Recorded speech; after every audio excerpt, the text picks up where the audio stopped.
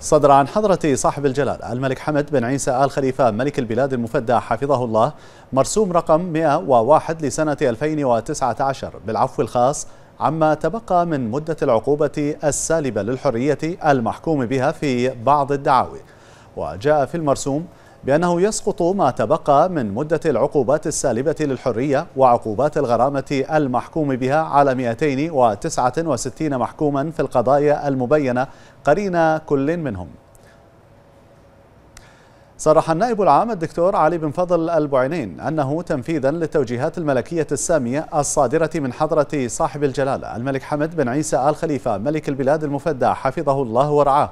بالتوسع في تطبيق قانون العقوبات البديلة مراعاة لظروف المحكوم عليهم الشخصية والأسرية والدواعي الإنسانية المبررة لاستبدالها بعقوبات الحبس واستمرارا لتقييم النيابة العامة لأوضاع نزلاء مؤسسة الإصلاح والتأهيل.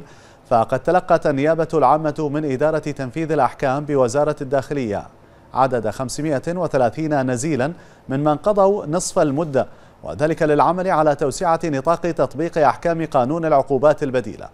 وأشار النائب العام إلى أن النيابة قامت بدراسة أوضاع هؤلاء النزلاء وانتهت إلى توافر الشروط والضوابط القانونية بهم واستفادتهم من القانون ومن ثم اتخذت الإجراءات المقررة بالقانون في ضوء ما انتهت إليه هذه الدراسة.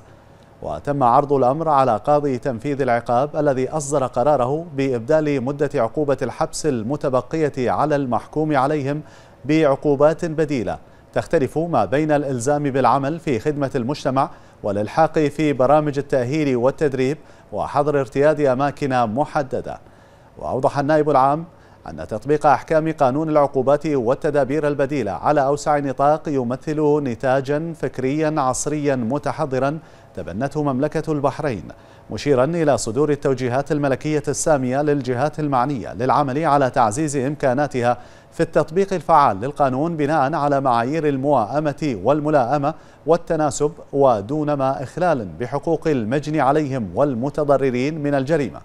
وبين أن عدد المحكومين من الذين سبق وأن استفادوا من جميع أنواع العقوبات البديلة منذ بداية تطبيقها قد بلغ 1116 محكومة